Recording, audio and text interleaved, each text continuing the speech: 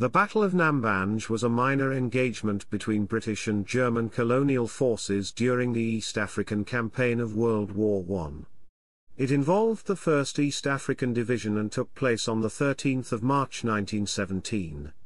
Several British units were ordered to attack German forces that had been spotted near Nambanje. The British advance was detected by the Germans the day before, which enabled them to prepare and repulse the attack.